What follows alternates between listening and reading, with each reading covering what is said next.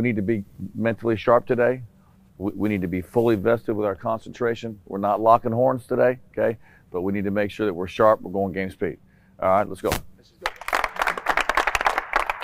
Invest on three. One, two, three. Quick to the rim, quick to the rim, quick to the rim. Any miss, you put back in. Put back in every miss. Here you go, let's go, catch it. He don't want none of that pass. He don't want none of that pass. Come on, get popping, get popping. Hard turn, hard turn, let's go. There you go, that looks like basketball. There you go. That's a soft dribble, that's too soft. That's like my pillow. Bounce the ball harder than that.